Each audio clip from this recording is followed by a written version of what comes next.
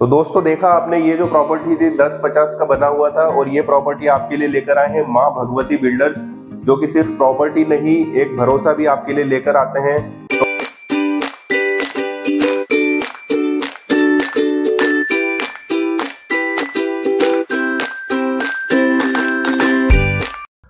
नमस्कार दोस्तों, स्वागत है आपका हमारे प्रॉपर्टी चैनल पर, जहाँ पर हम लाते हैं आपके लिए हर बार एक नई प्रॉपर्टी तो इसी कंटिन्यूशन में आप मैं आज आपके लिए लेकर आया हूँ एक न्यू कंस्ट्रक्टेड प्रॉपर्टी जो आप मेरे पीछे देख सकते हैं ये वाली जो प्रॉपर्टी है इसका कंस्ट्रक्टेड एरिया है दस पचास का।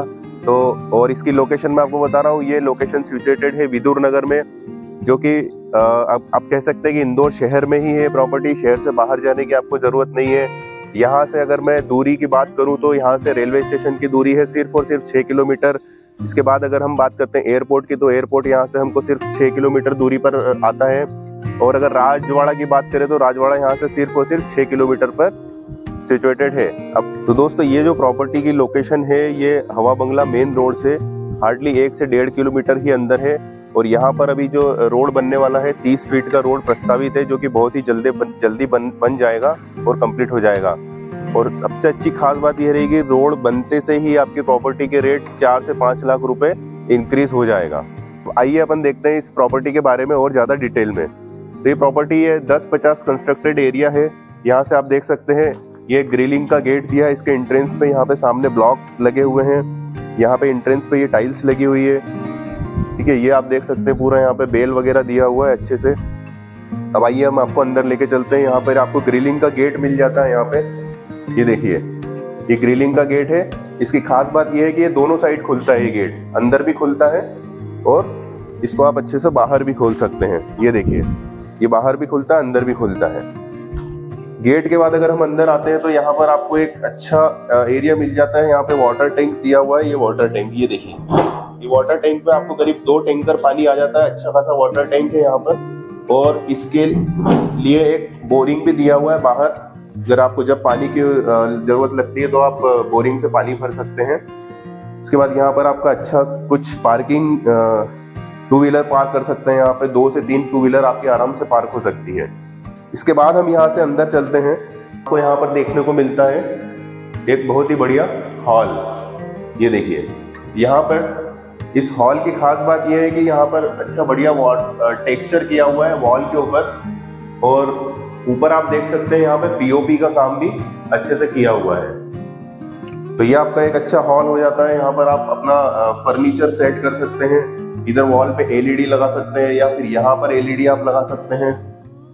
ये हो जाता है हमारा हॉल हॉल के बाद हम यहाँ से आगे बढ़ते हैं थोड़ा तो। यहाँ पर आपको देखने को मिल जाता है किचन ये है आपका किचन यहाँ पर आपको यहाँ पर ग्रेनाइट पत्थर लगा हुआ है जहाँ पर आप सामान रख सकते हैं, यहाँ भी सामान आप रख सकते हैं प्लस यहाँ भी आपको सामान रखने का अच्छा स्पेस मिल जाता है। और एक किचन जो है, एक सफिशियंट खुला किचन है और बहुत अच्छा वेल ऑर्गेनाइज्ड है। यहाँ पर आपको वॉश वॉशिंग के लिए, बर्तन वॉश के लिए यहाँ पे आपको वॉश बेसिन मिल जाता है। ये देखिए, यहाँ पे नीचे भी बहुत अच्छा सफिशियंट स्पेस दिया हुआ है सामान रखने का। यहाँ पर आपका पूरा किचन का सामान अच्छी तरीके से आ सकता है।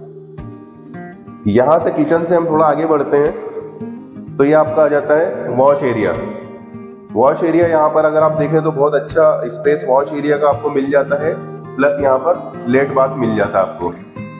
तो ये आपका हो जाता है यहाँ पर लेट बाथ कंप्लीट ये देखिए। इसके बाद आपको इस, यहाँ पर एक बहुत अच्छा चीज़ दिया हुआ है इस प्रॉपर्टी में कि अगर आप ऊपर देखें तो यहाँ पर एक अच्छा सा वेंटिलेशन दिया हुआ है। वेंटिलेशन में आपको यहाँ पर अभी देखिए, कोई लाइट नहीं जल रही है, लेकिन फिर भी बहुत सफिशियंट लाइट इस घर में देखने को मिल रही है। तो यहाँ पर आपको लाइट की ज़्यादा ज़रूरत नहीं है। आप अगर यहाँ पर लेट बाथ के ऊपर अगर आप देखें तो यहाँ पर एक बहुत अच्छा आपको स्पेस मिल जाता है यहाँ पर सामान रखने के लिए। आप अपना बहुत अच्छा बहुत सा कुछ सामान यहाँ पे स्टोर कर सकते हैं। यहाँ से हम आगे बढ़ते हैं तो आपको मिल जाता है आपका बेडरूम ये देखिए। बेडरूम बहुत अच्छी तरीके से वेल ऑर्गेनाइज करके रखा हुआ है और यहाँ पर ये इस बेडरूम की वॉल पे टेक्सचर किया हुआ है जो कि बहुत ही खूबसूरत दिख रहा है। ये हो जाता है आपका बेडरूम। सारा पेंटेड है, वेल बहुत अच्छी तरीके से बना हुआ है ये। ये देखिए, यहाँ पर आपका कुछ जो भी आपको सामान रखना वो रख सकते हैं। Light fitting everything is complete तो ये हो जाता है। अब हम आपको लेके चलते हैं आगे। रूफ पे। तो दोस्तों, यहाँ से हम चलते हैं रूफ की तरफ़। ये देखिए, यहाँ से सीढ़ियाँ दी हुई है। स्टील की ग्रिलिंग यहाँ पर देखने को मिल सकती है आपको। यहाँ पर बहुत अच्छी खूबसूरत दिख रही है ये स्टेयर्स के पास में। और ये जो सीढ़ियाँ देख रहे हैं, इसके ऊपर आप पत्थर लगा हुआ है, ग्रेनाइट पत्थर, जो कि बहुत ही खूबसूरत तरीके से लग रहा है। यहाँ पर भी आपको पत्थर दिखने को मिल रहा है, यहाँ पे भी। टाइल्स लगी हुई है ये। और यहाँ पर आपका इधर वेंटिलेशन के लिए खिड़कियाँ दी हुई है, ये। तो आइए आगे चलते हैं अपन रूफ पे। ये देखिए, यहाँ से छत पर आने का आपको रास्ता मिल जाता है।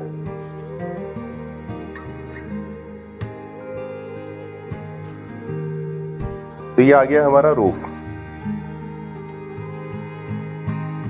ये देखिए यहाँ पर आपका बहुत अच्छा सा तरीके से बहुत अच्छा बढ़िया छत दिया हुआ है, जहाँ पर आप आराम से रात में बैठ के खाना भी खा सकते हैं, दिन में कपड़े सुखा सकते हैं। एक बहुत अच्छा सफिशियंट स्पेस यहाँ पर आपको देखने को मिल जाता है। प्लस यहाँ पर अभी ये आपका जो स्टैंड दिख रहा है, यहाँ पे आप वाटर टैंक अपना रख सकते हैं यहाँ पे। वाटर टैंक का पूरा सप्लाई पाइपलाइन यहाँ से दिया हुआ है।